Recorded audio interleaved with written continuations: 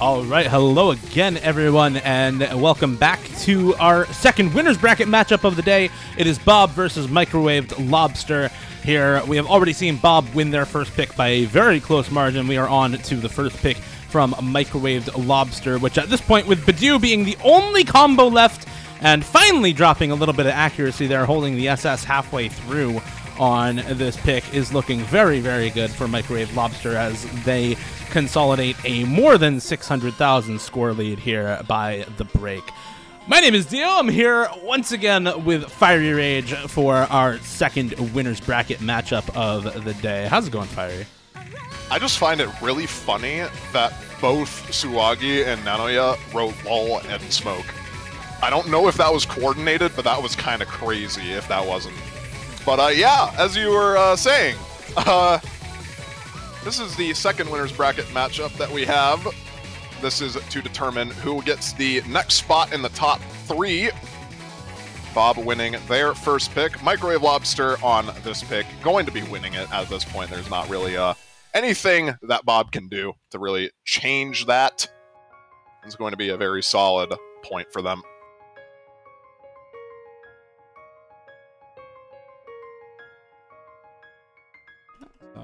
Go ahead and uh, wrap up what has happened so far here. If you do take a look at the MP link we saw earlier on, again, that first pick for Bob, it was double time three was the first pick off the back of 900 Ks from both Keeg and Neneric. They were able to take that by a mere 15,000 points, not even 15k on the first pick into this hidden one, won by about 700,000 for Microwave Lobster off the back of really, really solid, consistent team scores. Of course, earlier on, the bands here, Hidden 2 for Bob. Pretty well placed band, given what we just saw on Hidden 3. And uh, Hard Rock 1 for Microwave Lobster. I think just not looking to contest the raw mechanics from Bob as their team does have a very, very good mechanic squad. More so looking to take advantage of their very, very strong gimmick players. And you can see, of course, Bob the exact opposite strategy, looking to just pick into mechanics and go for these sorts of speed and aim picks primarily. It's what's worked for them throughout the rest of the tournament, and it's likely what their game plan is going to be through the rest of this match as well. Yeah, Bob have probably one of the most crazy speed rosters remaining in the tournament at the moment. Some absolutely insane players on their side for speed. You got Keeg, you got Ninrik, you got Raikaho. Pretty much what you can name four people on this roster that would be insane speed players, and they would probably just like all FC the speed maps. That's how crazy these guys are. But uh, Microwave Lobster, on the other hand, Seed 1, definitely not a slouch on their own speed roster. We can see uh, Arnold and Matthew swapping in here.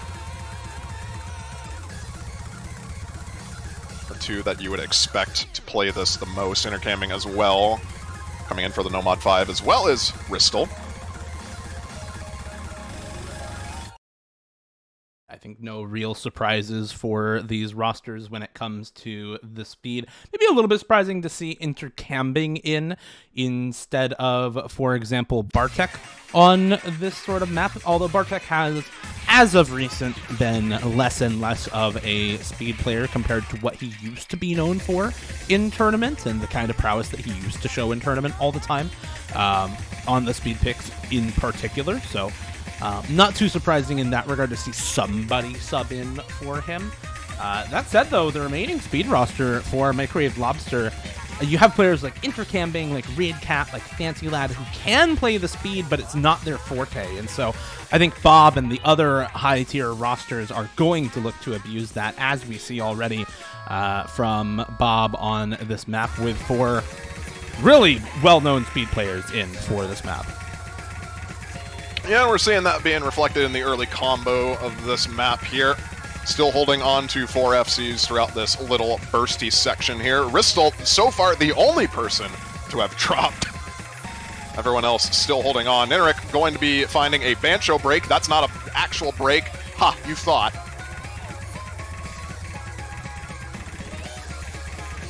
And yeah, it's just Ristle with that break, and that's literally the only difference. Shield finally going to be trading that at some point here. As we get into the break now. Score gap is only about 120k in favor of Bob, with the combo advantage back in Microwave Lobster's favor. We'll see any drop at this point can be uh, detrimental to either team. We'll see which one is the next one to drop.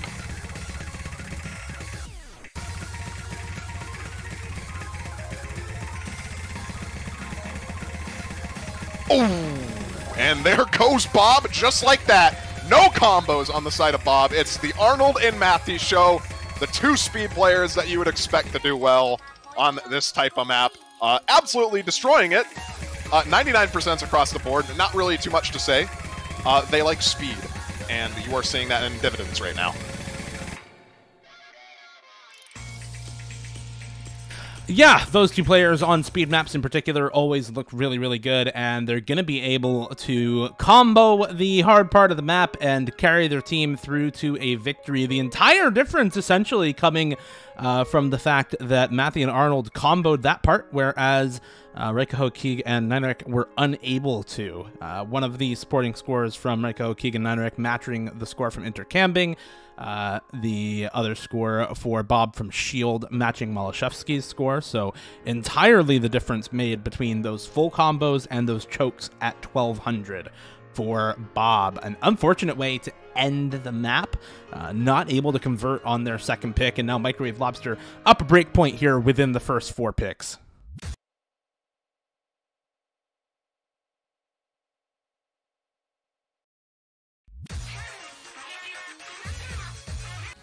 Arnold uh, putting 10 million score for No Mod 5 on the uh, the team sheet apparently. I don't think he got just shy under 10 million, but nonetheless, will be hidden one as a follow-up pick for Microwave Lobster, and I think after the earlier hidden three pick, this is pretty much kind of expected. Uh, hidden one being this awkward aim-oriented map with pretty much cross-screen jumps across the entire playfield. Uh, hmm, who does that remind you of, Dio? What player skill set does that remind you of in particular? Hmm. I can't really put my finger on it. I, uh, I don't know. I don't know. Something, something, something, something doable. Uh, so, something doable uh, it kind of rings a bell, but but doable. That's what this map is. That's exactly what this map is. Uh, same as the hidden three that we saw earlier, right? The uh, really ridiculous 700k that we saw from Badu on that map. You're gonna look to him to uh, do something similar on this pick here. Badu assessing the first half of hidden three earlier in this match, and uh, yeah, is probably going to uh, pull off something similar on this map as there are very few bursts and streams in this one, and it is all like what you talked about, exactly up his alley in terms of the hidden aim and aim control requirements. You got. A backing roster to back him up as well. Ristle, Intercambing, Bartek, all well versed in the hidden mod, more than capable of completely destroying this map if they want to, if they are turned on at the moment. But on the side of Bob, we got Krez, notable hidden aim player. Definitely someone to watch out for, as well as Suwagi. Dragbit 3's rename change. Uh, Raikaho and uh, Nanoya, Satono Diamond, going to be coming in for this as well.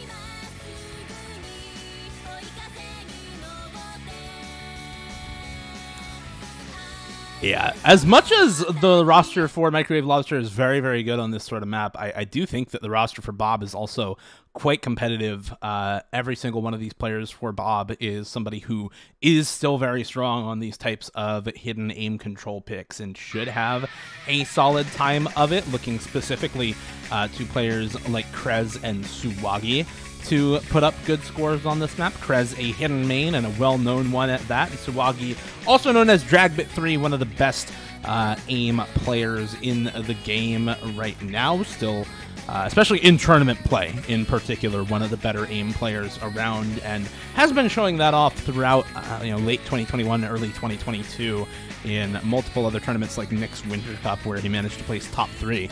So uh, there's a lot of uh, expectations for all of these players And I think the early breaks now from Raikaho and Satono Diamond, you know, they might actually end up making the difference as all of these players are otherwise very competent on this sort of pick.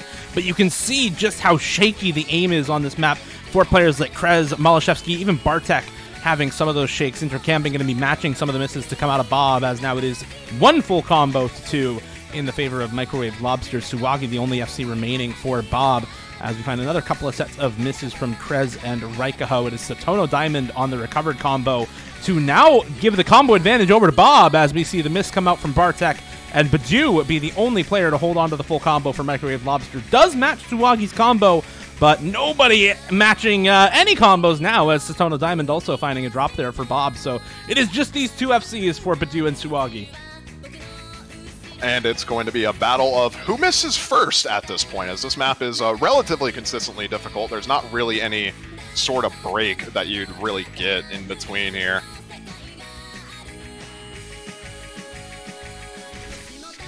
And for right now, it seems like Badu is oh. actually going to be the one to slider break there. Now, combo advantage pretty massively in favor of Bob here as Dragbit still holding on to that FC. Going to be changing the score gap pretty noticeably right now. None of his team is holding on, unfortunately, but I don't think it's going to matter. If as long as he holds on to this FC for just a bit longer, this score gap will shift over. But he needs to hold on. If he misses at any point right now, that would absolutely kill the momentum here. Yeah, the big recovered combos for Bartek and uh, Malashevsky and Intercambing bringing up the rear for Microwave Lobster make it so, like you said, Suwagi has to hold here, and there's the slider break to come through. All the combos drop for Krez and Raikaho as well. Satono Diamond now the highest combo on Bob's side at just 130 combo. Uh, Malashevsky is going to miss, but this is going to take full team wipe for Microwave Lobster uh, if Bob does want to take the break point on this one, as Suwagi just not quite able to hold on long enough to bring the score back. And with the repeated breaks, a four-way wipe once again for Bob. This is going to be the point for Microwave Lobster. The recovered combos at the end of the map here, so, so good for Bartek in particular, but for Malashevsky and Intercambing as well, bringing them up above that 400,000 mark. Only one other player on Bob aside from Suwagi at that mark right now. It is Krez. Satono Diamond gonna maybe spin just over 400k here by the end of the map, but every single player on Microwave Lobster with a higher score than Krez, who was the second best score for Bob. That is just team difference on that map and team comfort difference, despite the low combos for players like Intercambing and Malashevsky, lower miscount as well for them, uh, keeping their scores relatively high in comparison to the other supporting scores from Bob. And of course, you know, 700k for Bartek, 600k for Badu on that can't be understated that slider break hurt. Like that early slider break from Dragbit hurt. That just completely shattered, shattered their chances, rather, on taking that point. It won't be a consolidated break point for Microwave Lobster. 3 to 1 now as we get into Bob's next pick. Probably still going to be remaining in the double time mod. I imagine DT2 is probably... Okay, never mind. I lied. That is going to be second ban from Bob, and so I think I forgot about three, that. Yeah, yeah. Second round of bands, guys. This is not a pick. Uh, that No Mod 3 ban makes a lot of sense, as does the DT2 ban from Microwave Lobster. Bob's still going to want to pick into some of the speed picks, I think. Um, but there's not any left, really. You got DT4, you got No Mod 2, and you got DT1. And none of those are particularly speed maps, right?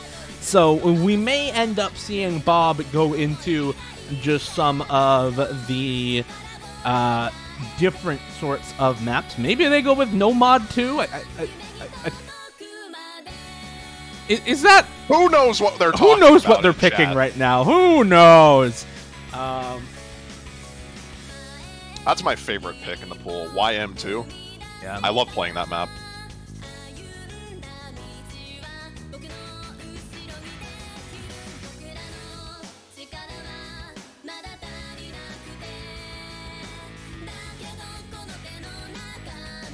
Waiting on an actual pick to come through from Bob. I'm kind of expecting No Mod 2, and after that, I think, you know, we're going to probably look towards some of the other picks in this pool, stuff like the DT1, um, maybe something like that free mod one, or uh, potentially. Uh, sorry, not free mod one, free mod two. Uh, were potentially Hard Rock 3, as it is just a stream map. Um, it's a lot more flow aim focused, but it is still streams, so it does kind of fit with what they have been going for. No Mod 1, of course, also an option, but ever the RNG pick, uh, maybe something that they save if they are in dire straits rather than one of their power picks.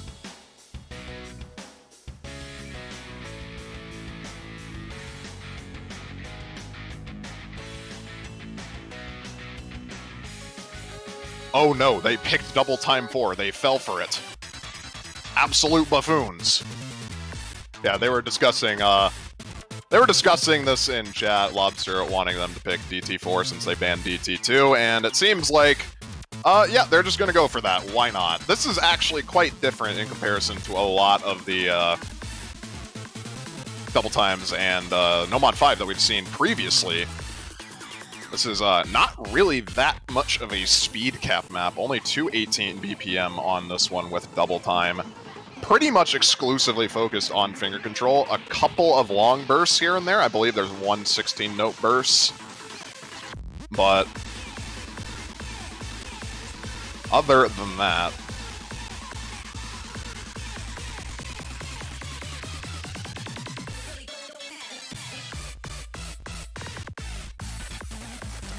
Nanoya trying for the uh, the mental war, the uh, the th the throw off here in chat against uh, Microwave Lobster. Trying to get them to uh, trying to get them to really feel that No Mod One copy pasta. You know, uh, it was the time of day. The stars were out of alignment. My mom came in my room. Uh, my grip slipped. My keyboard disconnected. Otherwise, we would have won. Uh, uh, manually blinking, you know, all, all that good stuff. But uh, we'll see if it actually ends up mattering at all. This is the kind of map where I think uh, the difference in approach rate 10.3 reading really determines the winner. You've got a lot of really technical patterns in this map, which, yes, you need the speed for, yes, you need the technical prowess for, um, but more than anything, this pick really tests how well you can read that higher approach rate.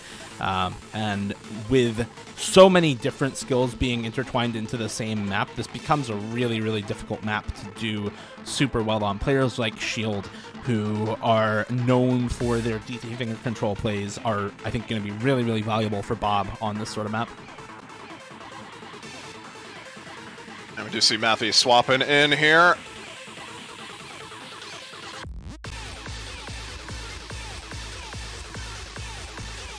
Using Arnold as the last player, so pretty... Oh. Maybe not Arnold. Maybe Arnold. I don't know maybe, what's going maybe, on. They maybe Arnold, maybe not Arnold.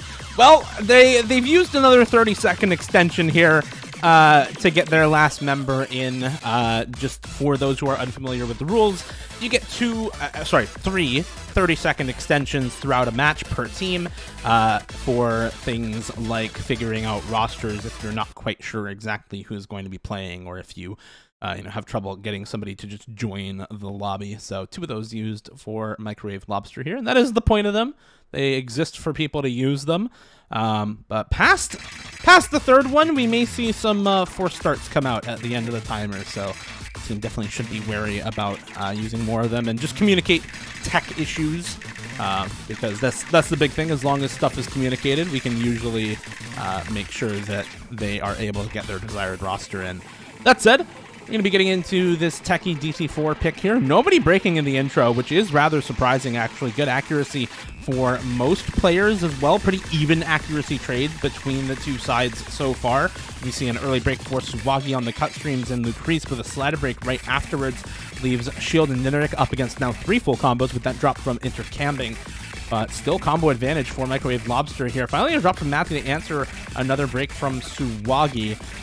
But ever so slight combo lead. Now a little bit of bigger combo lead as the crease finds another drop. Matthew and are going to trade once again, which does leave ever so slight combo lead with Bob. But it's really the full combos that we're looking at right now. Shield and Nineric versus Malashevsky and Arnold on this map with the FCs for either team.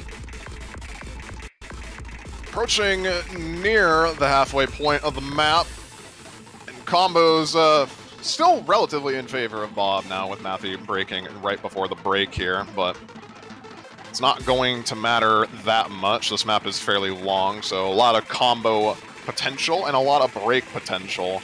It's still two FCs to two. It's just that slight combo advantage pushing Bob over the edge right now, but when all is said and done, that combo advantage can suddenly go very wrong. And it would be a very it would be a shame if Shield happened to break right there and Lucrece. Nineric now the only combo remaining. Arnold does trade one of the dropped FCs. It's Ristle versus Nineric with Suwagi on the recovered combo right now. And goodbye. Yeah, this is the Ristle show. The under aim there for Nenric not gonna be what they needed for Bob, and yeah, it's, it is the Ristle show. This guy on DT4s throughout 2022 has just been an absolute pleasure to watch. Uh, if you go back and watch some of the VODs from Nick's Winter Cup earlier this year, you can just see him absolutely demolish some of the most difficult double time fours uh, that the tournament scene has had ever. And he's going to continue to do it here, man. The score is just insane 98.5 accuracy on this map with the full combo still intact going into the very last part of this pick is absurd from Ristle. Even on a semis pool, this map is so, so difficult to be consistent on. You can see some of the other scores on his team. 300k from Intercambing, 400k from Mathy. The best scores on either team aside from him are 550 and 600k. And this man is just going to full combo like it's nothing. Best accuracy in the lobby to boot.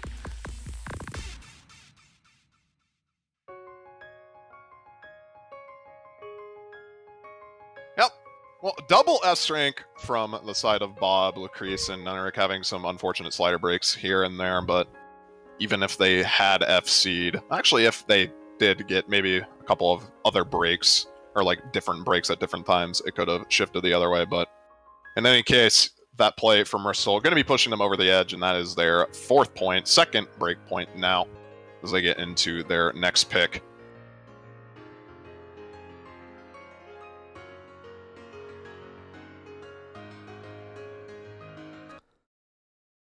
And a pretty quick pick at that. It's going to be No Mod 6 coming out almost instantly from Bartek. Just a little bit of discussion with the team before now picking into the uh, the Rhythm Hell map in No Mod. Map AR 9.4 OD9. And yeah, it's only two minutes, but with all the constant changes between a third, a fourth, a sixth, uh, this map very, very difficult to properly act. You add in a lot of the aim control that goes into those patterns as well, and you get something that is uh, a little bit, a little bit devious, a little bit dastardly for a lot of these players to do well on. We'll see. I think a lot of players again who not only have the speed to do well on a map like this, but have the aim control to uh, back it up and keep the combo together. And you may even see some players who maybe don't have the speed required to get good accuracy, but have the aim control to keep the combo together and can just mash through some of the faster patterns in this map. There's only actually, I believe, two really fast-ish patterns in this, and those are two 1-6 bursts, I believe, at 170 BPM, but the rest of this map is pretty much an alt map, I'd say, just with a pretty high BPM with 172. But a lot of changes between one fourth and one third rhythm. Have to stay on your toes and make sure that you at least know where those rhythm changes are. You don't want to be caught off guard by them. So not too surprising to see Badu in for this. The only real speed cap on this is, like I said, those two 1-6 bursts, and uh, Badu, uh, empowered with the double tap method, can uh, pretty easily combo them, I'd say And we'll see if we end up seeing him uh, combo through as much of it as possible. It's kind of who I was referring to, uh, talking about you know players who might not have the speed required to get good accuracy, but can just mash through and keep the aim control together instead. So couple of players like that in this lobby. Actually players like reedkatt for example not typically known as a speed player but does have the stream stamina to do well on something like this and was originally a uh, floating precision player before he got really really good at streams over the last year and a half or so. Look back at uh, tournament VODs from, for example, 2020, and he was primarily a hard rock aim player rather than, especially in precision picks, rather than uh, the stream player that a lot of people know him to be right now. So definitely does have that aim control and flow aim to back up stuff like this. We'll see if it ends up uh, going as well as they hope for Microwave Lobster here on this pick. Malashevsky, Badu, Arnold, and Reedkatt in for this one. Suwagi, also known as Dragbit 3, Shield, Keeg, and Lucrece in for Bob. Couple early breaks from Badu and Lucrece so far. Everybody else still holding on to these full combos. That's the first 1-6 burst down. Keeg going to be dropping afterwards, so full combo advantage now in favor of Microwave Lobster as well as a very nice combo advantage off Badu's recovered combo from the early breaks he had. Lucrece and Keeg, on the other hand, not having that much fun as we get into a little one-third section here, and back into one-fourth now. And this score gap is going to keep increasing. Lucrece finding yet another miss.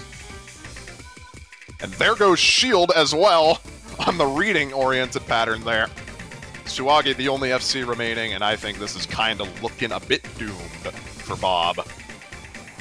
Yeah, um, these are really good scores from Microwave Lobster. This is still a three-way full combo, finally a two-way now, as Arnold does drop a miss, but the recovered combo for Badu is very, very good right now, not too far behind in score. And the accuracy actually looking very, very good for Badu, as a lot of this map's patterning is more focused on the changes between one fourth and one thirds rather than into one sixth and one eighths. And uh, yeah, no real need to mash for Badu through a lot of this map as he's just right in his element in this sort of pick. Highest accuracy in the lobby right now, right there next to Malashevsky, still holding that full combo with pretty similar accuracy as well. And despite the miss coming through from Reedkatt, uh, it is just not going to matter at all. Over a million team score difference for Microwave Lobster, showing off on that map.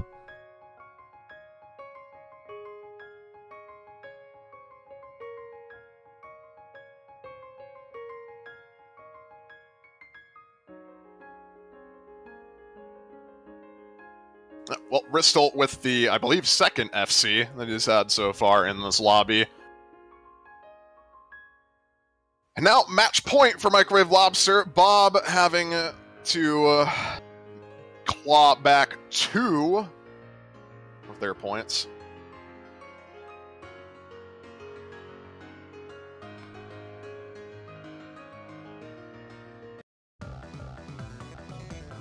Comeback's going to need to start now more than ever because otherwise, Lobster will be our second team in the top three of the perennial.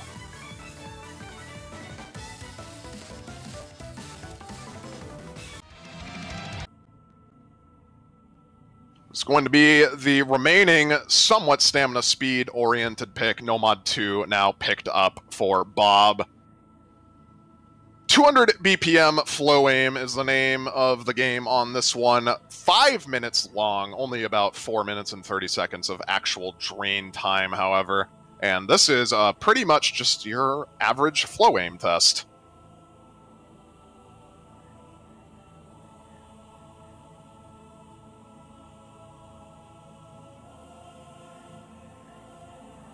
Not really too much else to say about it. No, unless you uh, unless you have anything particular that you want to add. Um, not in particular. Not a long stream. It's a very consistent map uh, for what that's worth. There's really not any major breaks in this map, and there's not any sections that stand out as you know full-on death stream parts of this map versus parts that you know, are a little bit more bursty and focused more on the triples and five note bursts instead of death streams. This really is uh, as kind of consistent of a No Mod 2 as you get, but at five minutes long, this really is, with that in mind, going to favor the team who is just better on those 200 BPM streams. Lots of very, very good stream players in this lobby right now. Uh, Malashevsky, Intercambing, Arnold, and Reedkatt currently in for Microwave Lobster. Raikaho Satono Diamond, also known as Nanoya, Nyrik, and Lucrece in for Bob. Uh, both of these rosters looking very, very solid for what could be our last map of the match. Bob looking to turn it around right here. Yeah, well, you definitely can't ask for better No Mod 2 players on the side of Bob. Raikaho, pretty well known for being an absolute No Mod 2 beast. You also have uh, familiar faces like Nanoya and Lucrece in there, more than capable of playing these types of stream maps, and Ninarek, of course, being a well-rounded machine that he is. Going up against Ristal, Reed Cat, Intercambing, and Arnold is going to be a bit of a tough task. See early breaks from Ninarek. As we said, this map is uh, very long, so these early breaks not going to matter that much. It's mostly going to be the breaks or consistent breaks that we see throughout the map, or breaks at the middle section. If you uh, break at the middle section, then uh, your score is kind of hard capped to 600k, and that's not fun.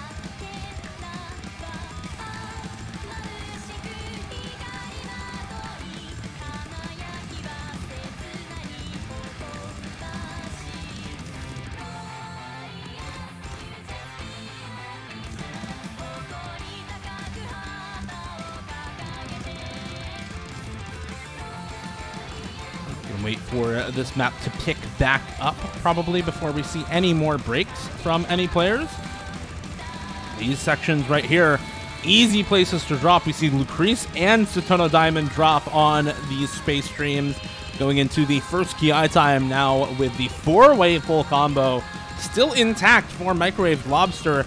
Every player for them. Oh, finally a drop from Malashevsky happens and a chain drop as well finds a ton of accuracy loss, went from 99.5 or 99.7 down to 97.5 with those chain misses. Unfortunately for Bob, that's not really going to be enough. Still three full combos intact for Microwave Lobster, and only Raikaho holding the FC for Bob. With Arnold dropping, that does make things a little less grim on this map, as like you said, there's a lot of room for these combos to be built back up, but with the repeated breaks for Ninarek, it's not looking as good as it could. With that in mind, Lucrece and Satono Diamond still holding some combo for Bob, but the score lead still going to be growing for Microwave Lobster with Reedkatt and Intercambing holding the FCs.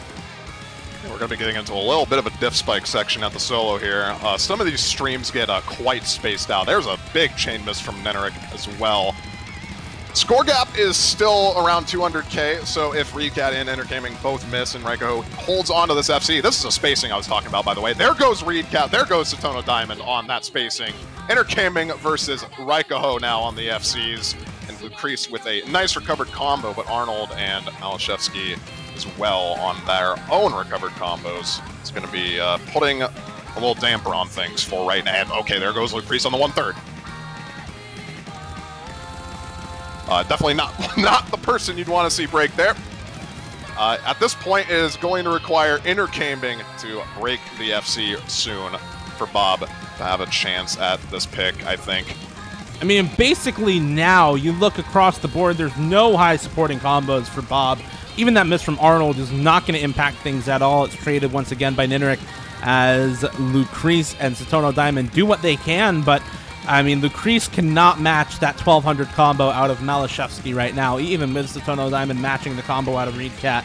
Uh, Intercambing is going to need to break right now for this to go over, and we may even need to see multiple breaks for the rest of Microwave Lobster as this pick for Bob just not working out. Intercambing does find the drop, but there's only so much map left. There's only so much score that Raikaho can add on with this full combo, and despite the miss coming through despite the full combo dropping for Intercambing and despite Raikaho holding right into the ending of this map.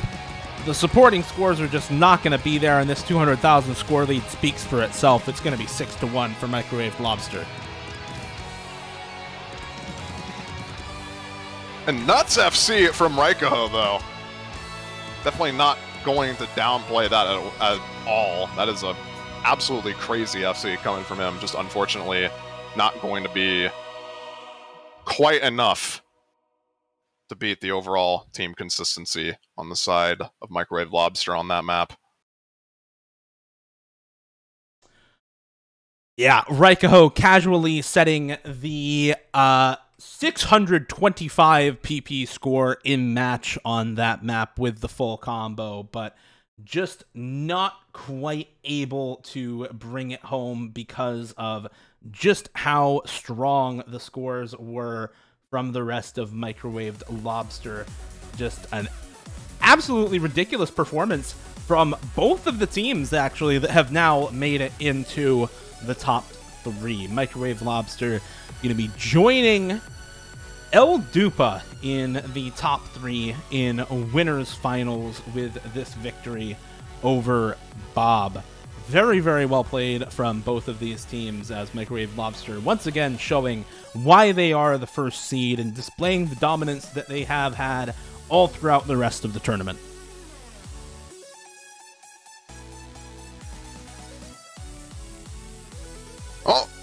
The winners' semis are now concluded. All we have left now is the remainder of the losers bracket matchups, which I believe we have two of, if I'm not mistaken, and those are going to be happening tomorrow. It's going to be Cora Lovers versus Thanks Guys and Trev City versus I forgot that team name. My bad. Oops. That is Tofu Gang is the other team that is left in Trev City with the upset win over Pissing On. Pissing On, seed number six, now eliminated from the tournament in top eight, and Trev City, seed number 13, advancing into the top six. Really showing off uh, how well some of their members can scale into the later stages with that tiebreaker winner. Only tiebreaker of the weekend, actually, so far.